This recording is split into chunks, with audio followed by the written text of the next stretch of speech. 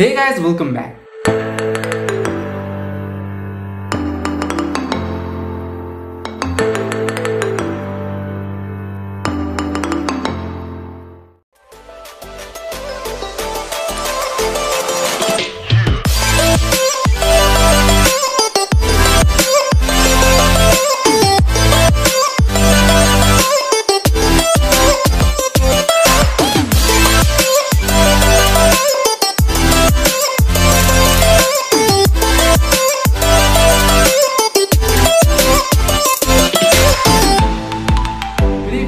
A look at BMSCE that is BMS College of Engineering. It is an autonomous college affiliated to Visvesvaraya Technological University, Belgaum. This college was started in the year 1946 and today it offers 13 UG and 16 PG courses. Now speaking about the rank of this college, this college is ranked at 69th by NIRF. While if you go to Outlook India, this college is placed at 40th rank and uh, India Today have uh, ranked it at 6th. Actually, the India Today ranking is uh, for the private institutions.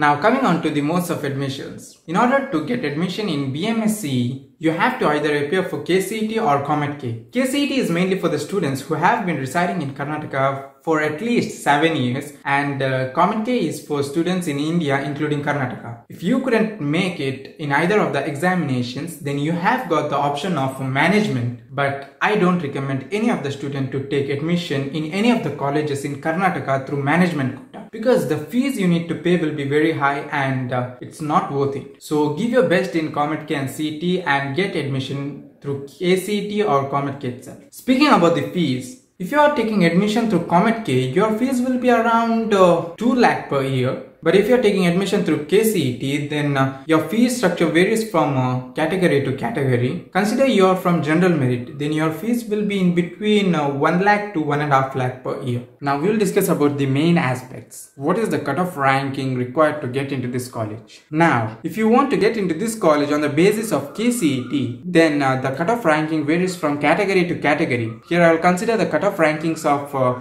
general merit. If you belong to general merit, you require at least a rank of 14,000 and at this rank you will get branches like industrial engineering. In order to get into top branches like CSE, ISE and ECE, you'll require a rank of at least 900 or lesser than that. If you want to know more about uh, the cutoff rankings, you can uh, ask me in the comments or DM me on Instagram. In case of COMEDK, if you want to get into top branches, then you require at least a rank of 2000. Then now about the campus, the infrastructure. The campus is 5 km away from the central railway station and the campus is spread over 12 acres of land. The area is uh, well utilized. They have uh, indoor basketball stadium, they have facilities for hockey, kabaddi, kho etc and etc. They have a well equipped library. Now we will move on to the important aspect, placement. This college have got a good placement record and the packages offered in this college are one of the best in Karnataka. Like if you visit Google, you will get to know that the median salary package offered is more or less 6.3 lakh per annum and uh, more than 200 companies visit every year to this college. In the year 2019, 88% of the students were placed and from students review I came to know that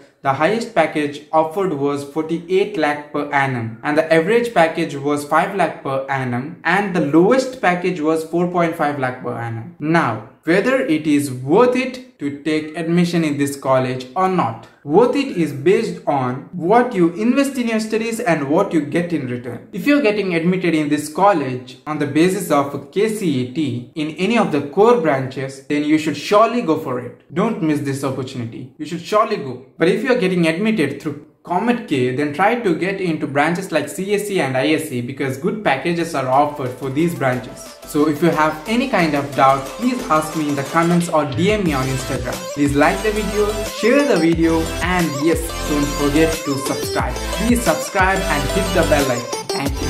See you next time.